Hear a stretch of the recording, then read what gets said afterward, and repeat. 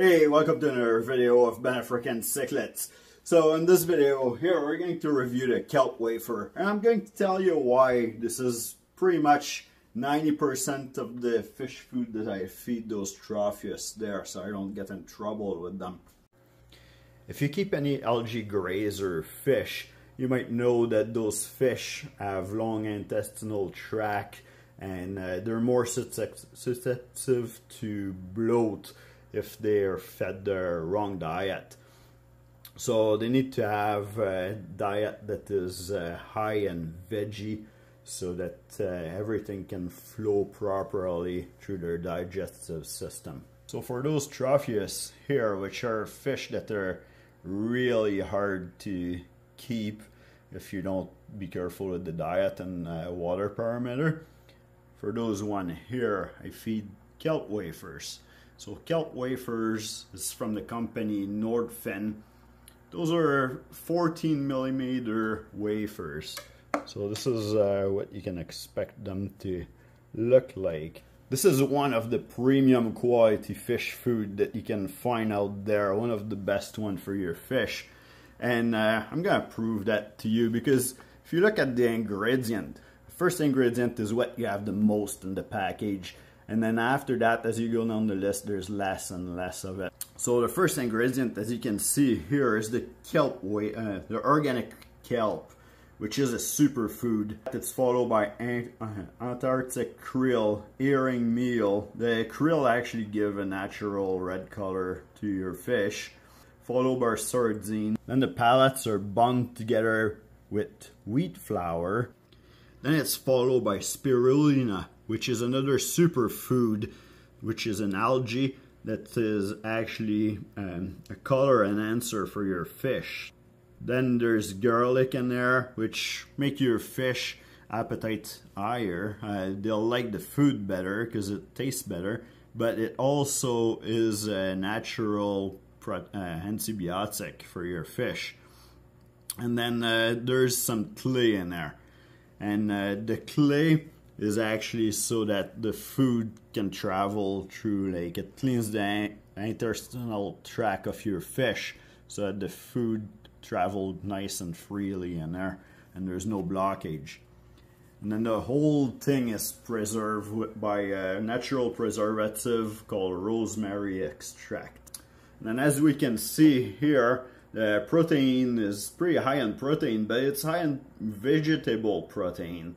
33% of uh, protein, 4% fat, and then 5% in fiber.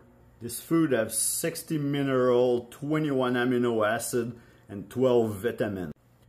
And to keep your algae grazer nice and healthy, they added some nitrogen, potassium, and micronutrient. NorthFin kelp wafer food is available in size of 100 gram, 250 gram, 500 gram, 1 kilogram, and 2.5 kilogram.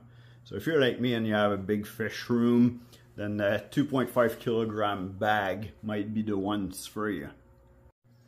Now this is a great food for tropheus like this, any algae grazer, plecos, snail. It's also great for shrimp, and then uh, I'll show you a little thing that I do with it too. Like sometimes when you have that many fish like this, it's really hard to inspect the health of your fish and make sure everybody is okay in there. And if you want them closer to the glass, then uh, what you do is you grab a couple algae wafer. And then what you're going to do is you'll let them soak in the tank for a little few seconds there. On one side there's a flat spot and on the other side it's kind of round.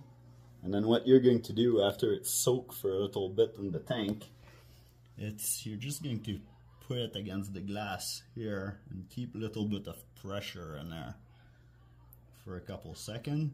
Then you can release the pressure and then the algae wafer will actually stay stuck to the glass here. As soon as I remove my end, so right now they're a little bit shy. They won't be shy for too long because they smell the food. You can start seeing some of the fish here are starting to get their courage and come to the front of the glass here. I even feel them against my hand here. So now you can take your hand out of here. And now they're all nice and nice at front of the glass. You're able to see if there's any issue with them, if they're eating properly. Oh, one fell down, so you can also inspect them on the ground. But, uh, or sometimes they, they steal it and they run away with it too. Uh, but yeah, you can inspect them. It gives you a good chance to inspect their fins, their belly, make sure everybody's eating right. So that's a little trick. I like to do that at least like once a week, just so I keep track of the health of the colony here. So far so good, the colony is perfect. So I've been feeding those guys since I have them. I picked them up in 2020. Right now we're in uh, January 2024. And as you can see, like I still have that colony going strong. So uh, yeah, I feed this well, I, I said 90% of the time. It's actually more like 99% of the time. And then uh, once in a while, I will give like Bug Pro just a pinch of it in there. Just so that they have a little bit of higher pro protein is from insect. So it's still pretty good for them anyway. And uh, it's not high on fat or nothing like that. So that will give them like I'm trying to breed them, so that's this is why I'm trying to induce breeding by feeding a tiny bit of Bug Pro once in a while. Not too much because I'm afraid like if I do too much, those fish are not made for that kind of diet. But with this diet here, no problem. And then once in a while too, I might go and add some uh, kelp flakes, sorry, which is very similar ingredient than the wafers. But just to change it up a little bit.